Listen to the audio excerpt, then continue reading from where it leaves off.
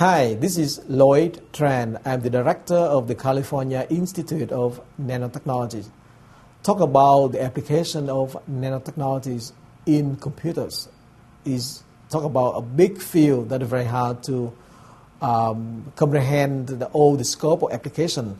But I must say that uh, nanotechnologies offer a unique advantage, once again, with the ability to design, to manipulate, and to manufacturing products, devices, instruments from the bottom up, one can have a lot of flexibility. For example, in the computer industry, one can make the computer chip much faster with have a large storage with a larger memory in the computer chips. At the same time, it is very affordable. Nanotechnologies have a very uh, profound impact in the way we develop components, the way we assemble uh, computerized systems, you know, from the device to the large instruments.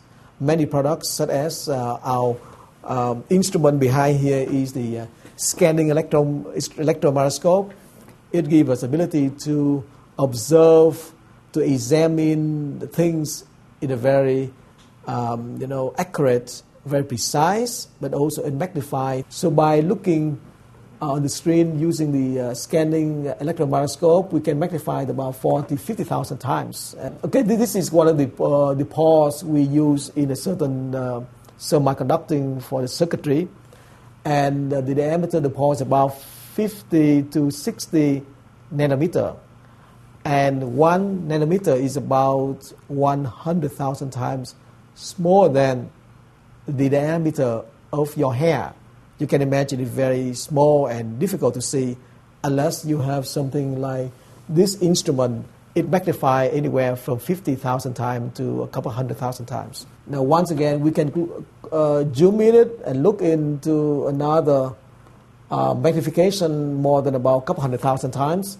We can examine certain defects of uh, those structure. In conclusion, uh, nanotechnologies have a tremendous application in the computer field. This is Lloyd Tran with the California Institute of Nanotechnology.